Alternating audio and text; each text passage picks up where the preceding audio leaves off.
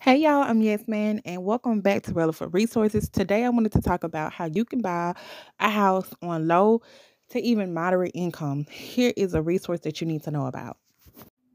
All right, y'all, and I live in the country, so please ignore my cows in the back. But okay, so this video. resource that you need to know about is called Habitat for Humanity. I first learned about Habitat for Humanity back in my college days when I was doing community service. So when I once I learned about it here, I'm in Georgia, in Middle Georgia, so they have a lot of programs here. I I said, you know what, let me keep this in the back of my mind because I'm pretty sure at some point or another someone may need this resource. And now here we are. I'm introducing this resource to you because did you know about it already? Probably not. All right, so the first thing about Habitat for Humanity is that it's a nonprofit organization that helps families build and improve places to call home. They believe that affordable housing plays a critical role in strong and stable communities.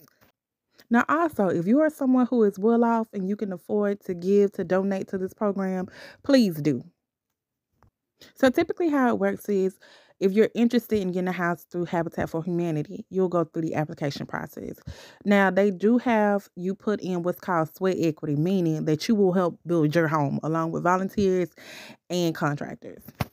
Now, here's a little bit more information about the Habitat for Humanity homes and their process. You can pause to read the screen. I'll also link the information down below. But also, they have the, the number 1 800 422 4828, which you can call and get a little bit more information. Now, if this video was helpful and helped you, or you want to share this information with someone, please do. Thank you so much for watching. Bye.